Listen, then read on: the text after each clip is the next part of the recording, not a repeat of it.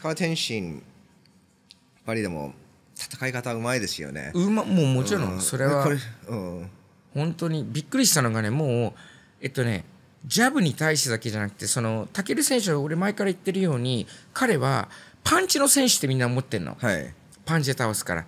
違う。タケル選手は蹴りの選手なの。うん。全ての攻撃はね蹴りで崩してからパンチに入るから、うんうんうん。そう。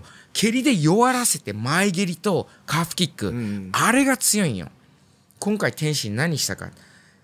そのカーフキックや前蹴りを出そうとした瞬間にこ超高速のスピードでね出そうと思った瞬間にバックステップシュンってやるのよ、うん。そうするとなんかサンドバッグを蹴ろうと思った瞬間にサンドバッグが動いたみたいな感じ。そうすると蹴るの躊躇するじゃんはいはいだからみんなね、タケル選手、もっと蹴れよ、蹴れよって言うけど、あれ蹴れないんだよ。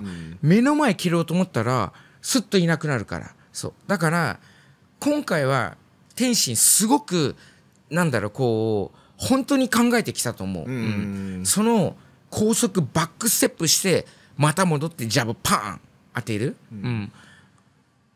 本当にね、なんだろう、より天心の方が対策を立てていたうん。試合だったのかなと俺は思ってる。うん。そうだね。完璧な試合でしたね。完璧な試合だったと思う